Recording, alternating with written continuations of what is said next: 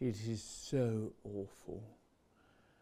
Most of our people originate from Nineveh, which is Mosul, and they come from there because that's really where our faith started. It started with a miserable evangelist who came over in a submarine one day, and his name was Jonah. And then another miserable person came. His name was Doubting Thomas. And he converted the Assyrians to being the followers of Yeshua.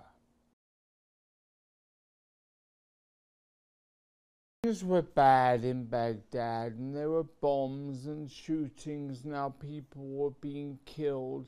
So, so many of our people fled from Baghdad back to Nineveh, their traditional homes. It was safer.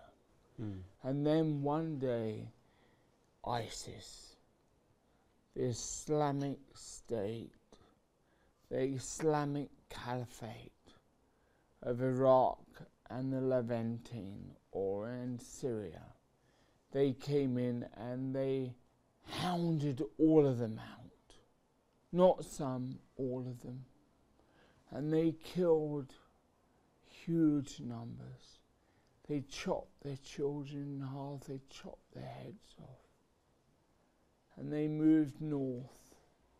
And it was just so terrible what happened. And 200 of our people are still displaced. 250,000 of our people are still displaced in the north.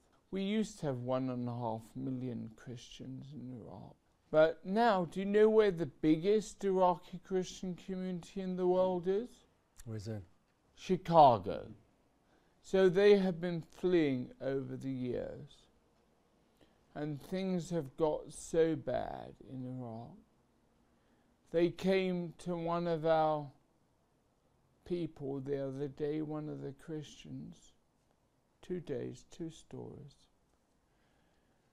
And they said to one man, an adult, they said, either you say the words of converting to Islam or we kill all your children. He was desperate. He said the words. And then he phoned me, Abuna, Abuna. I said the words. Does that mean Yeshua doesn't love me anymore? I've always loved Yeshua, but I said those words because I couldn't see my children be killed. I said, Elias, no, Jesus still loves you. He will always love you. A few days later, another story of some of our young people. ISIS turned up and they said to the children, You say the words that you will follow Muhammad. And the children, all under 15, for them, they said, No, we love Yeshua. We have always loved Yeshua. We have always followed you, sir. Your Yeshua has always been with us. They said, Say the words. They said, No, we can't. They chopped all their heads off. How do you respond to that? You just cry. They're my children. That's what we have been going through. That's what we are going through.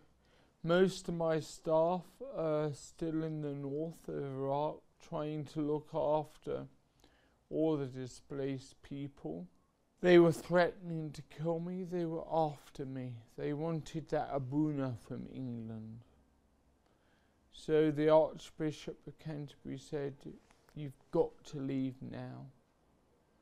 I can't argue with the Archbishop of Canterbury, especially as he used to be my colleague. We used to work together. Mm-hmm.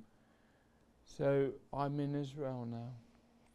So he wanted you to get out of Erbil and uh, No, he wanted me to get out of Baghdad. Baghdad. W- What is it like? Uh, is it even possible for Christians to live under ISIS right now? And No. impossible. Mm-hmm. All of them have had to flee.